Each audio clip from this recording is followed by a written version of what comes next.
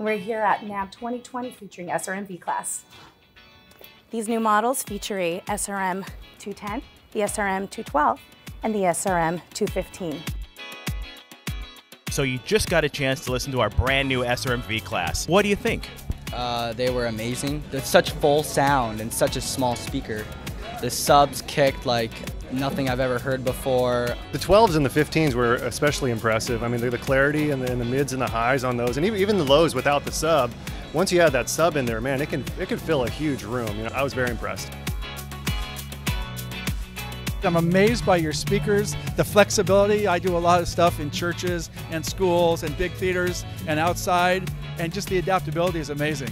So 10 user presets too, that's a big addition for you as well. So being able to use them in different areas. So how do you think the SRM V-Class can help you?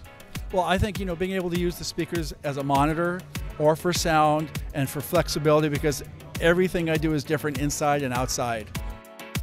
Everything you can do on the back of the digital screen on the back, you can actually do with our brand new app. You also have wireless streaming, and you can actually link two speakers together. You have full control over both speakers, as well as three-band parametric EQ, and a ton of other settings. We thought of it all for you here at Mackie.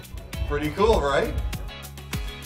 We wanted something uh, that had the best sound, best quality.